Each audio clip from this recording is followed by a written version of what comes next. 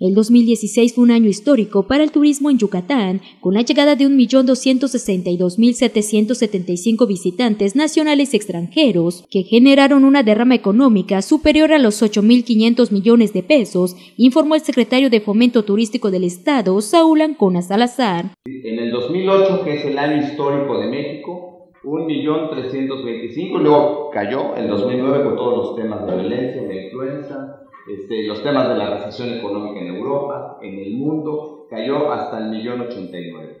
Hoy, en el 2016, nosotros rebasamos las cifras del 2008 desde el año 2013. Y en el 2016 cerramos con una total afluencia de 1.456.000 turistas, del cual el 76% es nacional, el 24% es internacional. Hemos establecido esa estrategia. Tenemos que ir manteniendo también el turismo internacional. Indicó que de acuerdo al comparativo de ocupación hotelera entre 42 ciudades del país, Yucatán ocupó en el 2016 el cuarto lugar de turistas con pernota y en el primer bimestre de 2017 se reportó la llegada de 267.459 turistas con pernota.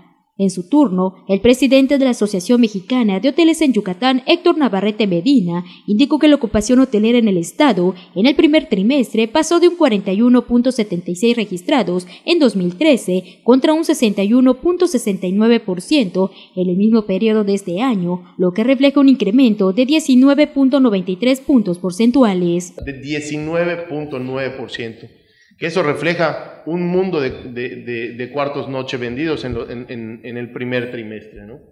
Como podremos ver ahí en enero y en febrero, que son meses que eh, en años anteriores hemos tenido muy baja ocupación hotelera, bueno, baja ocupación hotelera un 42%, un 41%, hoy en día son meses que ya tienen una alta ocupación hotelera, ya son, ya son de temporada alta, enero y febrero, cuando antes no lo era. Tenemos un 57.3% en enero y un 64.3% en febrero. En cuanto al movimiento de pasajeros de llegadas y salidas, en el Aeropuerto Internacional de la Ciudad de Mérida se incrementó en un 89% entre el 2006 y el 2016, lo que implica un aumento de 913.771 pasajeros en los últimos 10 años, manifestó el director regional de Azur, Héctor Navarrete Muñoz, con imágenes de Adrián Castillo, Merly Gómez, Notivisión.